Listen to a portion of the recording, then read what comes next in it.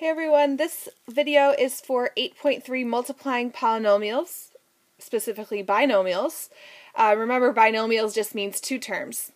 So our goals are that we can multiply two binomials together or a binomial and a trinomial. I'm going to show you three different methods and after looking at all three methods, you can use which one works best for you. So let's take a look at the area model. This picture shows you that you're multiplying 2x plus 1 and x plus 2, and then basically you just combine like terms and get the answer. Option 2, use the distributive property. I'll show you what that looks like. And option 3, use a table. Make sure you fill in area and distributive. Those are a couple of the blanks. Okay, example 1.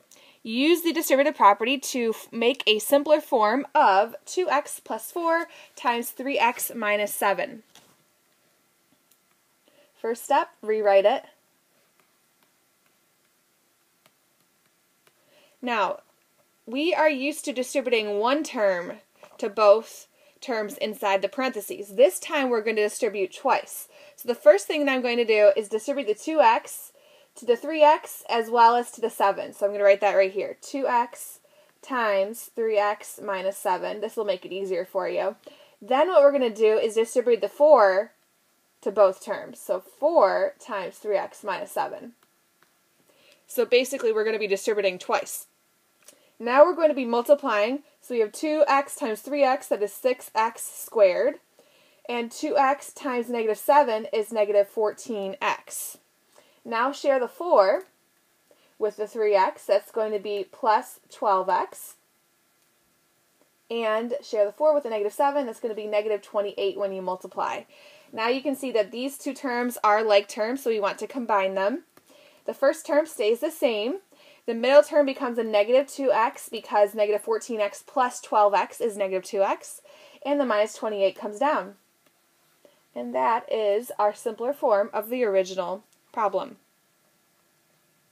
So, method one, um, this is actually option two written above, but anyways, here's the distributive property shown to you. Now I'm going to show you the table method. And from last year's experience, this was the method that most people preferred. So I will be leaning towards this way because I think it is easier for you guys to understand.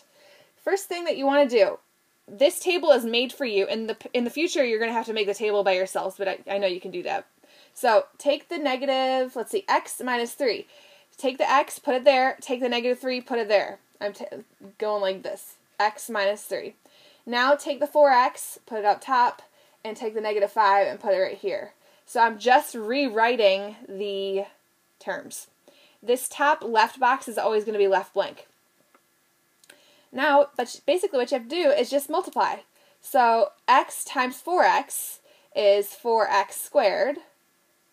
So we're, we're going like this in case you're lost. x times 4x is 4x squared.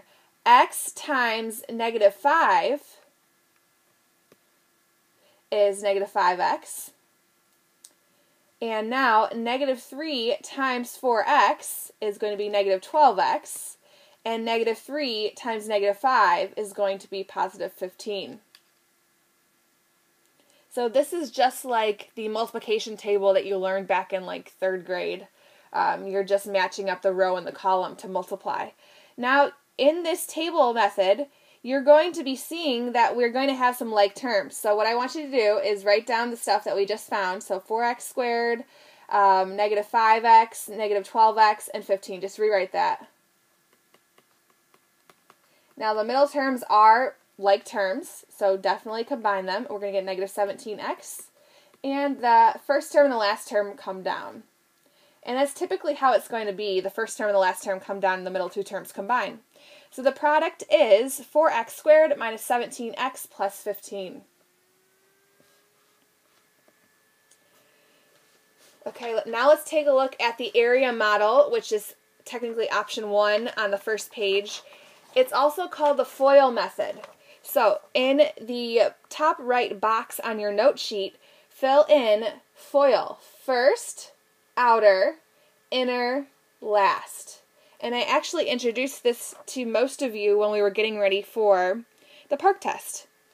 So now I'm going to show you what what's happening here. Um, 2x plus 2 times x plus 3.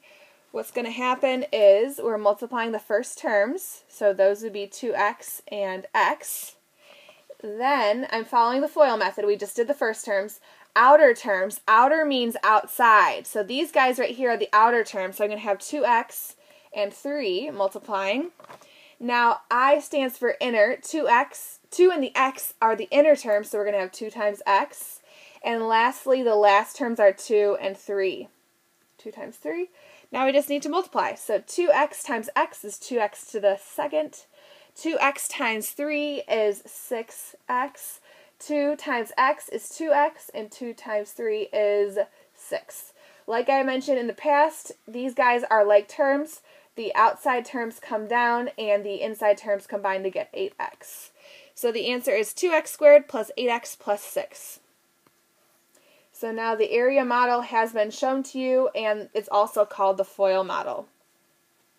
In example 3, we're going to do this once again so you can see it in action with different numbers. using FOIL. What is a simpler form of 5x minus 3 times 2x plus 1?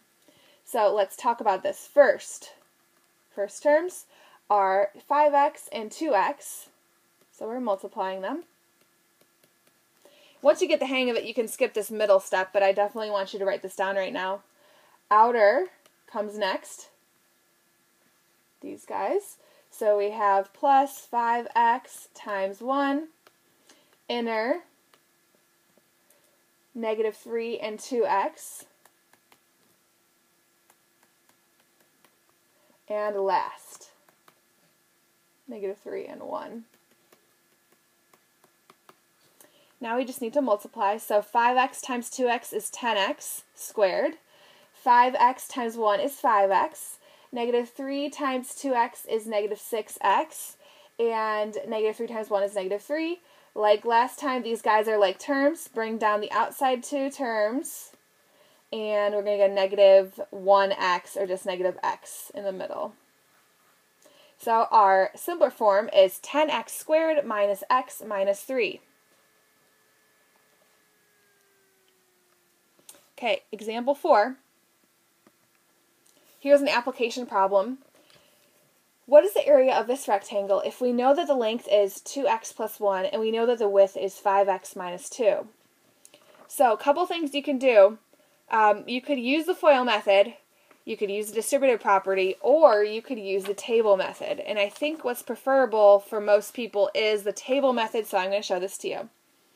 So just take the terms that were given and make a table.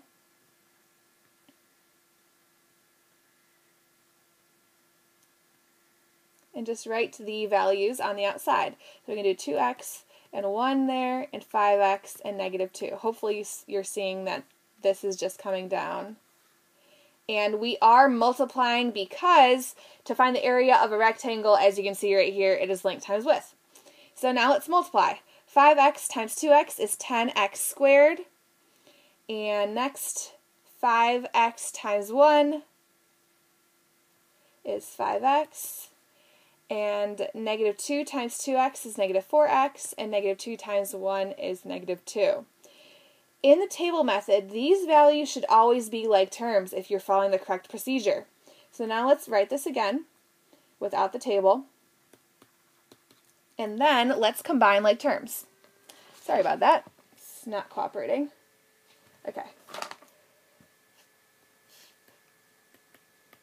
When we combine the 5x and the negative 4x, we get positive 1x. And you can put the 1 there if you want it or not. So 10x squared plus x minus 2. Oh, goodness.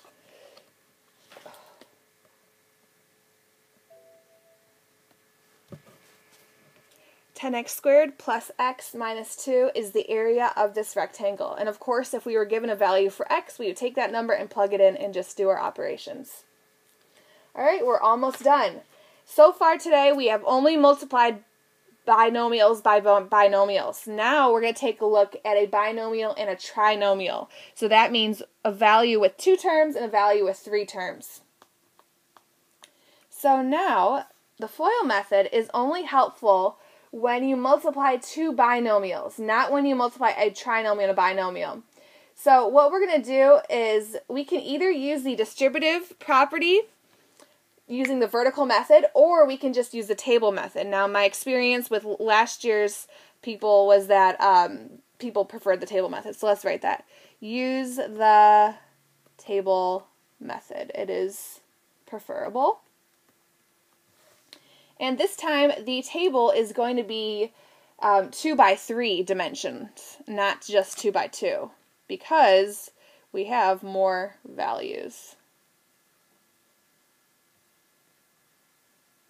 So I'm going to take the 2x and the minus 7, taking that value, rewriting it, and then 3x squared, x, and minus 5. Just took the trinomial and rewrote it. Now we're always going to be multiplying, so we have 2x times 3x squared. That's going to give us 6x to the third. That 3 is coming from the little 1 and the 2 in the exponent spot. Now let's keep going across to the first row. 2x times x is 2x squared. And 2x times negative 5 is negative 10x. Now let's do the second row. Negative 7 times 3x squared is negative 21x squared. Negative 7 times x is negative 7x. And negative 7 times negative 5 is positive 35. Now, using the table method, the diagonals should be like terms, and it turns out that they are, which is awesome. So what I suggest you do is write the first term and then combine the first diagonal. So I guess I'll just put them next to each other so you see what's happening. And then we'll do the answer in the next step.